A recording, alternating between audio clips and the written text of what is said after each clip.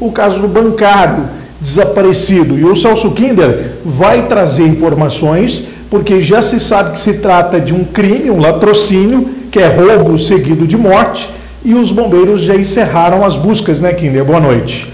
Exatamente, Samuel Sintra. Boa noite a você, a toda a nossa audiência que nos acompanha pela plataforma do YouTube e também na Net Franca no canal 23.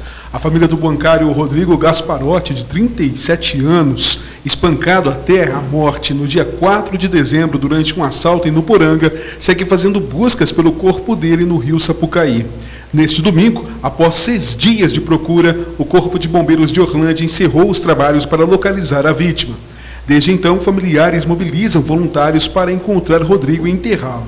Em depoimento à Polícia Civil, um jovem de 18 anos, principal suspeito do assassinato, Samuel, contou que jogou Rodrigo no Rio Puerto, de uma ponte é, na divisa de Nuporanga com São José da Bela Vista. O rapaz foi preso temporariamente junto com um homem de 29 anos, que teria ajudado a esconder o corpo da vítima, Samuel.